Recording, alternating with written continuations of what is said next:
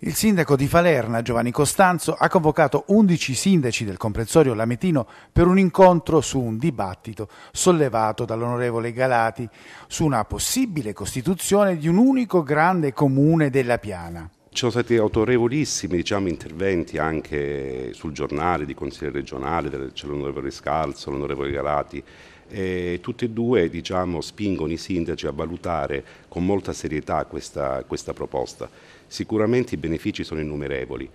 E il fatto è che queste cose non si fanno giustamente per decreto e questo qua lo sappiamo tutti, gli addetti ai lavori ma anche i singoli cittadini.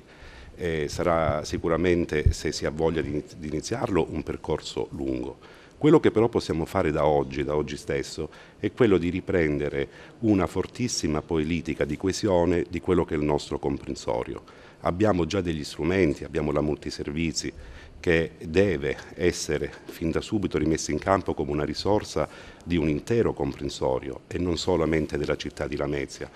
Ecco, oh, si spera che oggi, eh, fra un po' inizierà questo dibattito libero fra sindaci, porti a questo, a questo buon inizio. Cominciare dagli strumenti già esistenti, il piano di zona per quanto riguarda i servizi sociali, ma soprattutto la multiservizi, perché questo territorio ricominci a, a sentirsi all'interno di una realtà omogenea e solamente grazie a una politica condivisa si può portare veramente a, allo splendore che merita. Abbiamo ritenuto di aprire un dibattito con una proposta a tutti i sindaci di valutare le opportunità che oggi danno eh, la possibilità della unione fra, fra comuni che nasce non soltanto diciamo, da un'esigenza diciamo, di tipo per creare eh, visibilità al territorio ma anche per le opportunità che oggi offre il testo unico sugli enti locali che ci ricorda anche la necessità che tutti i comuni si esprimono, che poi ci sarà, deve essere un referendum confermativo ma che mette anche in condizioni importanti oggi si va verso, in molti casi, se pensiamo che negli ultimi quattro anni